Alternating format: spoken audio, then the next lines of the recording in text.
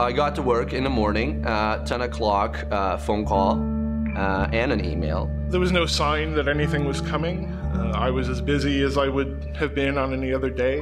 We were kind of joking about it nervously, but in the back of my mind, it's like it's, it's a distinct possibility. I mean, everybody knew layoffs were coming. The jobs that we got easily before were a little harder to come by. You just could feel it coming down. You could just feel everyone's assholes just tightening up. And I got this little, you know, beep on my phone. And the HR person came in with her hatchet and closed my door. They're like, yeah, I'm sorry, it's, it's time. Yep, we're letting you go. We can't keep you.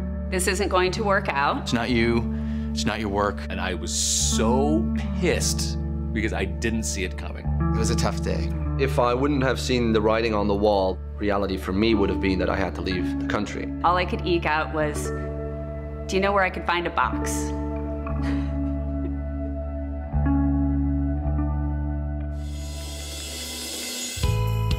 Think deep down, it was sort of a liberating feeling.